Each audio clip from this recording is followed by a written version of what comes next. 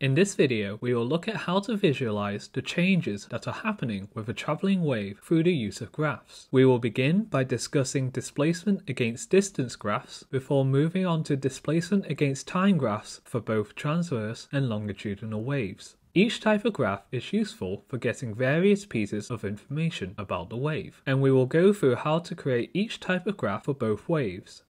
Let's begin by considering this transverse wave moving from left to right. As the disturbance passes through the medium, each particle in the medium is displaced by some amount, and the size and direction of that displacement changes with both position along the wave as well as with time. This is too complex to graph easily, so when we graph waves, we hold one of those two variables constant, allowing us to look at how the displacement of the medium varies for just one variable at a time. In a displacement against distance graph, we will hold the time constant. We can think of this like taking a snapshot of the wave like this, and then we can look at how different parts of the medium are displaced from their equilibrium positions at this one instant of time. On our graph, the x-axis will be the distance along the medium starting from the left side of the diagram. The y-axis will be the displacement, where we have set the upwards direction to be a positive displacement. From this snapshot, we can see that the three red points located at distances of 0, 4 and 8 centimeters all have the maximum positive displacement at this time. So we can go ahead and plot those points on our graph like this. These two blue points located at 2 and 6 centimeters are at maximum negative amplitude. We can also add these yellow points here, where the displacement is zero. This process can be repeated for more and more points, and then a smooth curve can be drawn to connect all of our points like this. Notice how this graph is simply the wave frozen in time, as we have mentioned. This type of graph represents the displacement displacement of all of the points in our medium at a specific instant of time.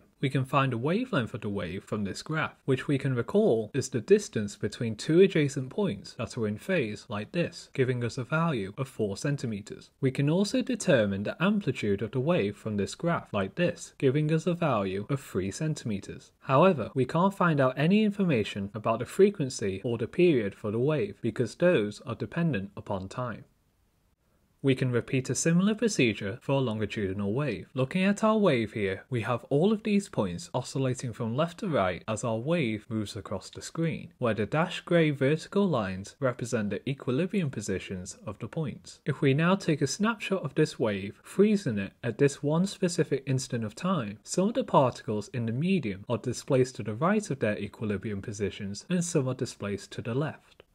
We will now simplify this snapshot and create a graph that represents how much each particle along the wave has been displaced from its equilibrium position. These lines show how much each particle has been displaced at this instant of time. On our graph, the y-axis will represent the displacement of the particles where we have set displacements to the right to be positive. The x-axis of our graph is the position in the medium, where the particle will be located along the medium when it is not disturbed. These particles highlighted in yellow have not shifted shifted from the equilibrium position, so we can add those locations to our graph. The particles in orange here are all shifted to the right by about 0.75 centimeters.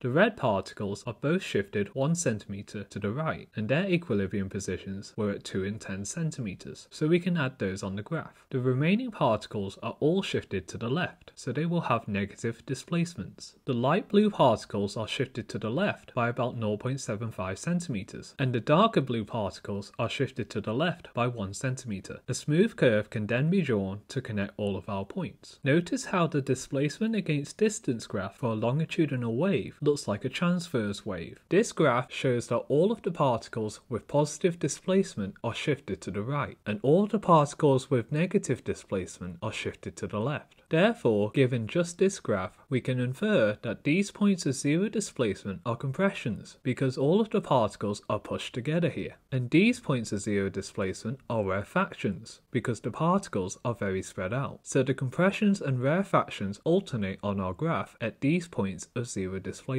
Similar to before, we can get the wavelength of our wave like this, which has a value of 8 centimeters. We can also determine the amplitude of our wave, which is 1 centimeter. This graph can't tell us anything about how the wave changes over time, and for that we will need a different type of graph. Instead of holding the time constant, we will now hold the position in the medium constant and look at how the displacement of a single point in the medium changes with time. We can imagine we are putting a screen in place so that we can only see a single point. Rather than watching how the whole wave moves through our medium, we can just look at the motion of this yellow particle as it oscillates in the medium.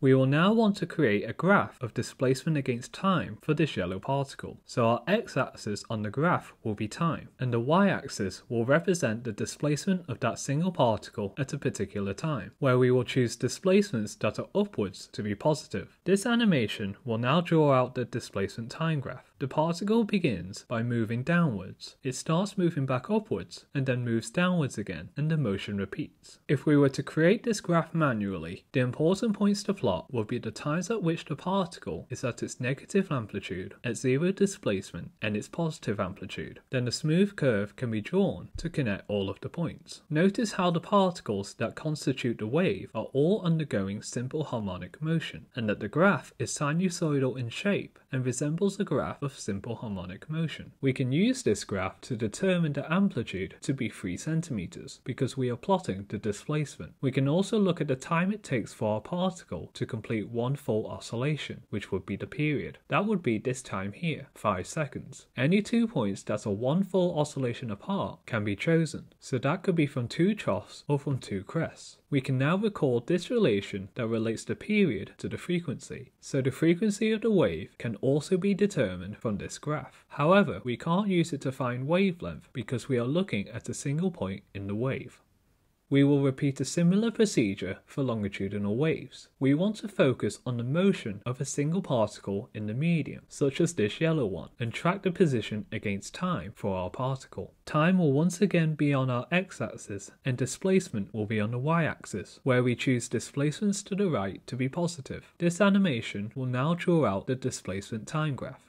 Notice again how the displacement against time graph for a longitudinal wave is a graph of a particle undergoing simple harmonic motion and is sinusoidal in shape. The amplitude for our wave is this distance here, which has a value of just under 1 centimeter. We can also look for the time for our pattern to repeat, the period, which is 5 seconds. We will now take a look at these two types of graphs side by side. Given both of these graphs, we can determine the direction that the wave is travelling. Starting from time 0 seconds, the displacement of the yellow particle is negative. Now let's locate the position of this particle on the graph to our left. If we shift this wave slightly to the right, as shown by the green wave here, we can see that the yellow particle has moved to a negative displacement, matching what is observed in the displacement time graph, so our wave must be travelling to the right. In addition, recall this equation stating that wave speed is equal to wavelength divided by the period, or equivalently, frequency multiplied by wavelength. Since wavelength and period can be determined from each of these graphs, we can use these values to calculate the speed of the wave. The wavelength of the wave is 4 centimeters, and the period of the wave is 5 seconds, so the speed of the wave has a value of 0.8 centimeters per second.